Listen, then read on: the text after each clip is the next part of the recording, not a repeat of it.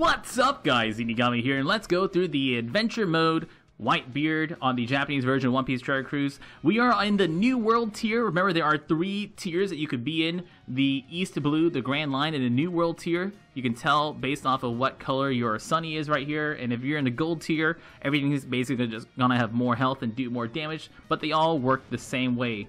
Remember that if you hit any of these mini bosses on your way to Adventure Mode Whitebeard, then they will become despaired and they'll start with like 20% health, which makes the fight generally way, way, way easier.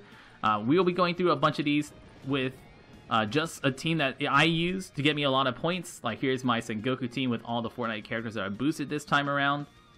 You can use any team you want. The idea is to give you guys uh, a good idea of how these fights work but you really want to use any of these guys that are glowing because these glowing guys will get you more points. You can see down here that I get 1.61 times the number of points uh, I would get for running this island. Uh, a lot of these adventure mode islands are not difficult per se, but the trick is to use the characters they want you to use, the ones that are glowing yellow, so that way you can get as many points as you can. That So I get a 1.77 times boost I do have the debuff right now that makes my powerhouse type weaker, so I have powerhouse attack down and cooldown reduction up. This Vista fight, Vista will have about 360,000 hit points. He will do 3,000 damage with his attack.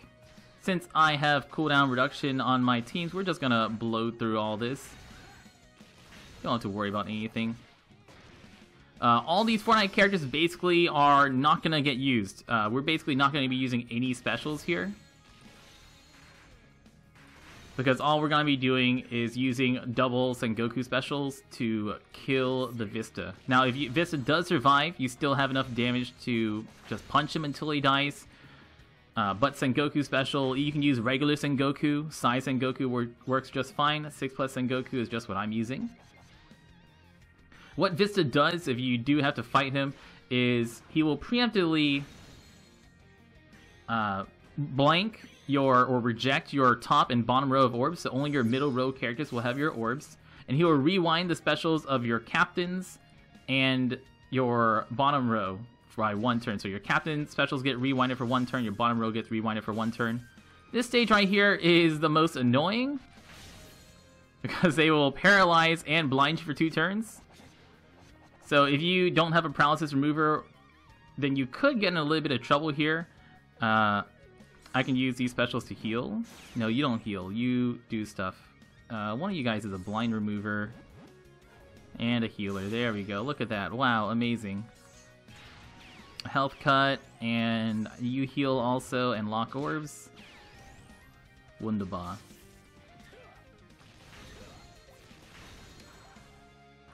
Let's just annoying more than anything else. It's not difficult to get past. So here I got both Sengoku specials ready.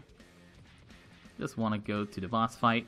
The orbs on our non... If you're using 6 and Goku, your orbs on your non-captains don't matter because remember 6 and Goku will give you matching orbs.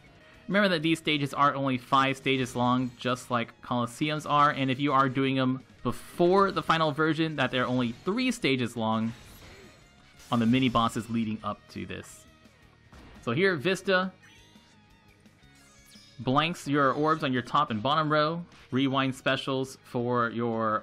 Uh, actually, your bottom two row are the ones that have special rewinded. And double Sengoku specials will kill him even at full health. And at least bring him really low once you start doing more and more runs and his health gets higher and higher and higher. Below 20% health, he attacks for 2.5 times his attack up to about 9,000 damage for 4 turns and prevent damage for 4 turns. So don't get him below 20%. If your Sengokus can't kill him and you can't burst him and just attack him a few times while he's only attacking for 3,000 and then burst him. So let's go into Jozu. Jozu is uh, very, very high health, I have high defense. So we're going to be using Legend Sanji Captain. Just use a Legend Sanji Friend Captain if you like, and then you can use any team at all with a Le Legend Sanji Friend Captain. You can also use Hancock Legend Friend Captain, this Hancock, because she deals fixed damage. And then the rest of your team doesn't matter. I'm just using these characters because I'm not using on any other team, and they'll get me that extra point. So you'll see here I only have 1.46 times extra points. So whenever you don't have a team of full points, it does Lower it by a lot. This versus Jozu. Update, there we go. Yeah, Aokiji Legend also works. There are a lot. Anybody who deals fixed damage is all you need. He only has 5,000 hit points. So, a, any fixed damage dealer will pretty much kill him unless you are using a 5,000 damage cut because a 5,000 damage cut will not quite kill him once you get him to a higher health. I'll just use that to lower my cooldowns. Thank you very much. And with our cooldown so low, we can go as fast as we can clear these stages. Jozu will have 5 units around him that have 6 hit points and very high defense also. So an AoE fixed damage dealer is what we want. He will prevent debuffs for 5 turns and boost his defense by a thousand times for 5 turns.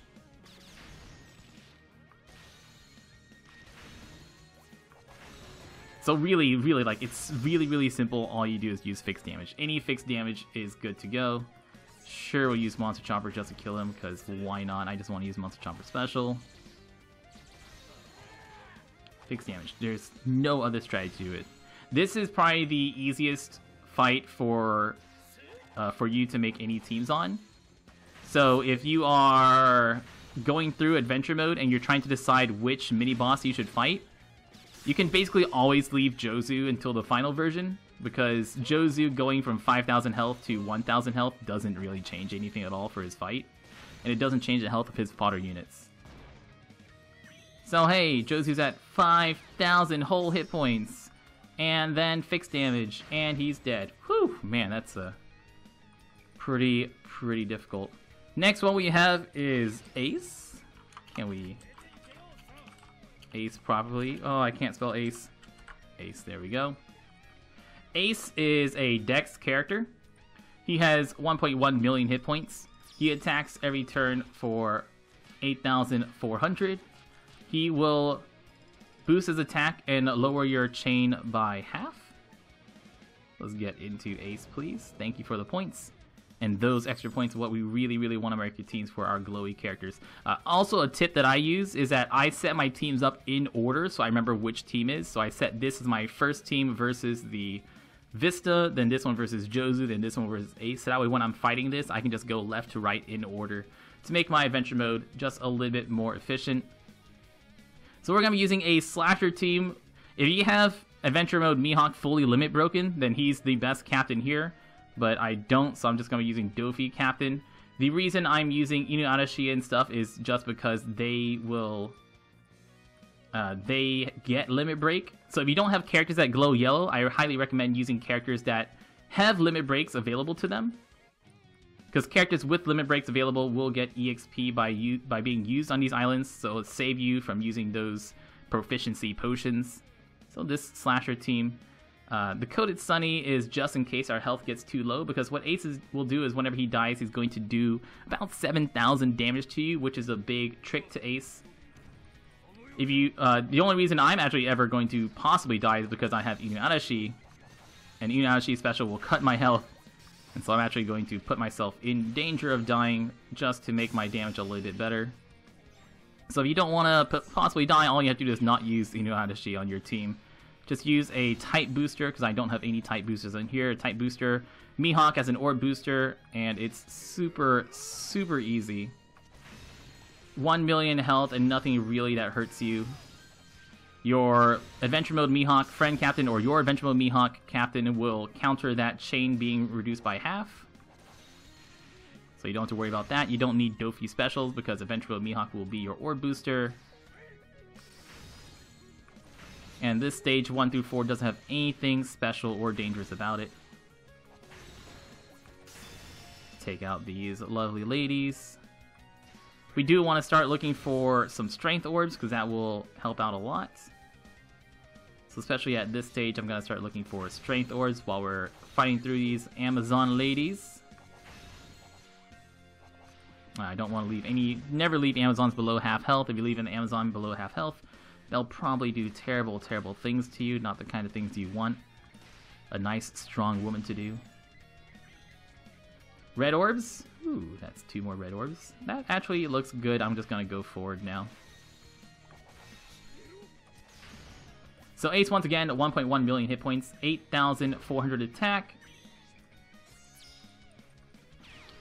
On his first attack, he will give you badly matching orbs and lock your orbs for a turn. And whenever he dies, he's going to do damage back. And I did get Ace below 20% health. And Ace is one of the ones, Ace is one of the more difficult ones. So if you're having a hard time, I would definitely say consider Ace as one of your ones that you aim for as a mini boss. Because if you have trouble with one of these stages, it's probably going to be Ace. If he's at 20% health, really, really easy to kill him. Actually, it looks like he's only at 10% health. I think I think they're actually only at 10% health. And so that 100,000 hit points versus a million hit points is the difference whenever you're going through the island and you hit them as a mini boss. So Ace, primo target for targeting as a mini boss. And then Marco. If you, if any two are the most difficult, I would say Ace and Vista are the most difficult just because they have the most health, with Ace definitely being one of the more difficult fights. Then the last mini boss we have is Marco. Marco is Psy. He has 300,000 hit points. We're going to be using a double Fujitora team. I like to use all my health cutting characters on this team, like Fujitora, Bellamy, Pika, because you cannot use any health cutters against Whitebeard. If you use a health cutter against Whitebeard, he'll blow away your characters, so don't use health cuts against Whitebeard. Use health cuts against any of the other mini bosses you can. And of course, if you don't have Fujitora, you can just use any other driven captain here. The rest of this team is free to play just picking glowing yellow characters. Glow yellow characters is all we really care about. Bump, bump, bump, bump. Just stalling for specials. I just want specials. Our orbs aren't gonna matter. And really nice is the Neo Akainu, because Neo Akainu is going to give you fully matching orbs and boost your affinity. Well, not fully, but fully purple matching orbs and boost your affinity. But since Marco is yellow, it is going to matter a lot on this fight. So our orbs on the important characters aren't going to matter until we get there. And actually don't even need Fujitora specials. I'm just going to go forward here. I shouldn't be stalling. Fujitora specials, not necessary at all for me. Oh no, not a giant, not my 40,000 hit points. Ah, uh, that's so scary.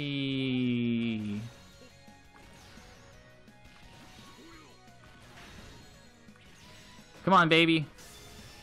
I've got Whitebeards to kill, please. And I got one more stage after this.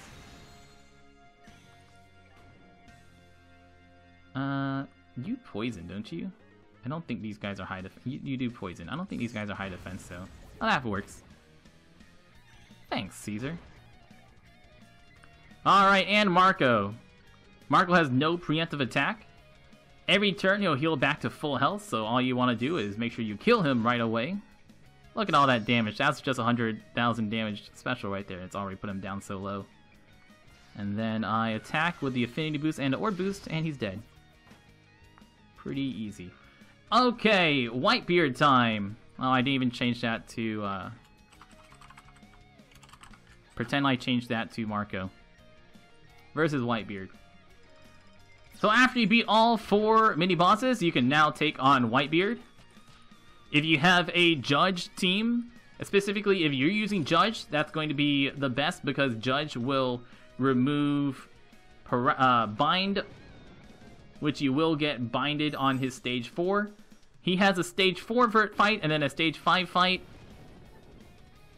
And remember, if you want to know how much health Whitebeard has, you can always check his health before you get into these islands uh, on the very main stage here. So I'm going to be using a Legend Rob Lucci team because Rob Lucci is boosted. Bunch of powerhouse characters. Even though my powerhouse attack is lowered, it'll be fine. I'm not worried about that at all. Boom, boom, boom. Double Rob Lucci team. Yes, please. Using the new Zunisha ship because Zunisha ship is super good. Oh my god, it's super good. So on stage four, the mini boss Whitebeard is going to preemptively silence both of your captains for three turns. Oh my gosh, look, we're guaranteed fully matching orbs on turn one thanks to Zunisha's ship and Sanji. And the reason we're using Sanji down here is that Sanji will get rid of the uh, the bind and also set our chain to 2.5. You can also use Wild Luffy, who will get rid of your. A Wild Luffy gets rid of your. Oh no, that's annoying. Gotta leave one of these guys alive. Gets rid of your silence and bind. So these Lopun's actually only remove your healing for four turns, which is not as bad as they could be. If you know these Lopun's, you know they are notoriously bad for removing your healing basically forever, but these are only four turn healing removals, which are on which are not too bad in the grand scheme of things. I still want to wait out a little bit, take a hit from this guy because it's better taking a hit later on. And at least my heal return will get through. If you find yourself short on health, then just use the Rocket Man ship if you are using a power health team like I am.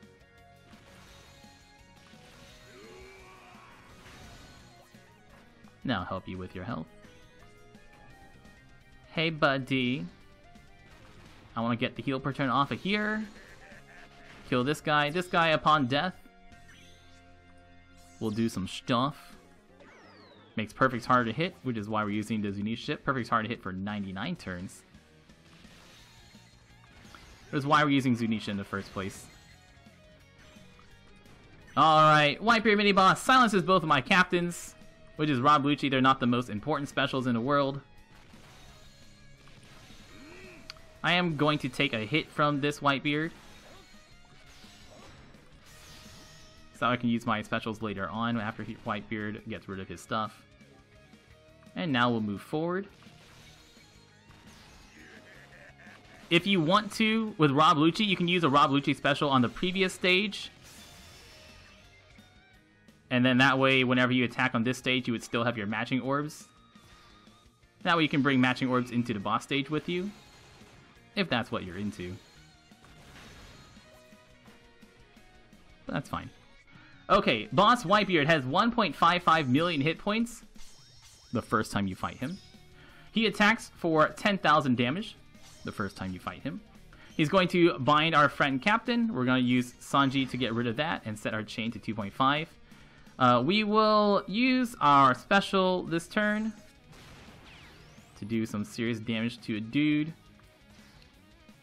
And I'll just show you passing the turn Assuming you don't have the Zunisha ships, that way you still you have Perfect's hard to hit and you can't get through that three hit Perfect barrier. Uh, whenever Whitebeard's on Whitebeard's first attack, he's gonna attack for 20,000 damage. So I'll go ahead and Hody that so you can see that damage. And he doesn't do anything bad until... Actually, he doesn't do anything based off his health at all. So you don't have to worry about his health. Just his first attack will be for 20,000 damage. So you can use a damage reducer if you need to. And uh, we'll just burst him now. Fujitora for some good damage. My attack is halved, but that's okay. Because we are manly men who kill whitebeards. That's the entire fight, guys uh, punch Whitebeard a few turns. If you uh, if you can't burst him down in a single turn, just punch, punch, punch. Use a damage reducer for that first attack. And then after that, he attacks for whatever his health, uh, whatever that attack will be, 10,000. That will increase every single time you fight him. And his health increases just like everyone else. This is the Limit Break experience, which is what I uh, want you guys to use, or what I recommend you using. So that way you get extra uh, Limit Break stuff off of a character And whenever I show you the... You can see, let me show you how to check a character's health and attack. So on this screen, if you click on this, before you go in, you can see how much health and attack he has. So you can see that right now on my third run, he has 1.8 million health and just under 11,000 attack. And everyone else will also go up. Everyone's health will go up a little.